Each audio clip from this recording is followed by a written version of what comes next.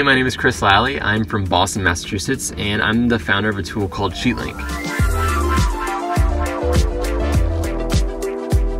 We build easy formulas to link any app with Google Sheets.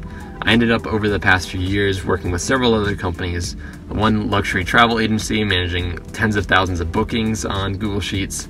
We built them a completely custom dashboard. I also built Google Sheet to manage a puppy breeder's website.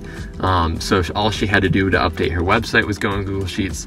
So there's several, several applications for this, and Web3 is one of the natural applications for this as well because several cool companies, such as Moralis, have been building APIs to interact with the blockchain. We ended up seeing Moralis uh, at a talk that they were giving with Chainlink, we realized what the potential of integrating with Google Sheets with uh, Moralis would be. It was really easy to go through their documentation and understand what the capabilities of Moralis were. They've done a really good job at uh, doing almost anything you'd want to do with uh, Web3, including NFT market, which is exploding right now. And it's pretty exciting because what our users have been doing without writing any code is building custom dashboards to see their own portfolios or to track certain tokens or addresses all on the blockchain and all in Google Sheets.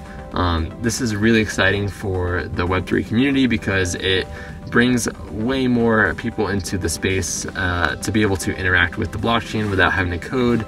Moralis has made this really simple. While I was building this this integration with SheetLink, uh, we were able to interact with not only the Moralis community on Discord, which is super strong, but also the Moralis team. They've been really helpful at every step of the way, and their software development kit is something that several of our users work with directly alongside our Google Sheet, so they're able to interact with the API really easily um, and test different things that they're thinking about integrating with their application. So it's really good for building MVPs, but also just seeing what the Moralis API is capable of. And I encourage you to check it out um, and keep building on Web3.